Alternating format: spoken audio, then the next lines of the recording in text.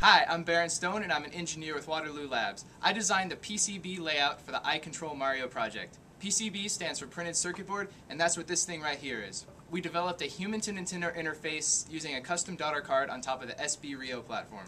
This is the single board Rio. It integrates a real-time processor with a Xilinx FPGA, which is field programmable gate array. The FPGA is a kind of logic chip that can be reprogrammed to perform custom processing in hardware rather than software. The FPGA has several digital I.O. lines which are routed out to these connectors on the sbRIO board. This is the custom daughter card we designed. It has digital I.O. connectors on the back and it fits on top of the single board Rio like this. It's kind of like a sandwich.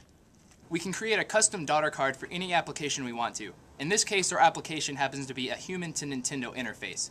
We use the digital I.O. lines on the daughter card to communicate with the FPGA and real-time processor on the single board Rio platform below. For the Eye Control Mario project, we had an analog interface which read sensors from the player and a digital interface which communicated with the Nintendo.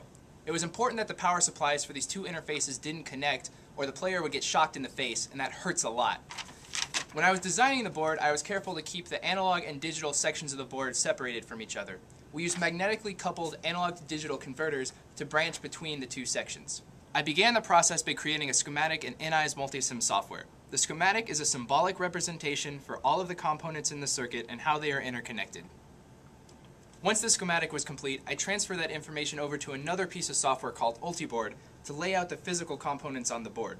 I started with the reference design for a single board Rio daughter card and then positioned the parts where I wanted them and drew routes for all the wires to connect those parts. Ultiboard also has this cool 3D view, which was useful to make sure I didn't accidentally place a component on the wrong side of the board.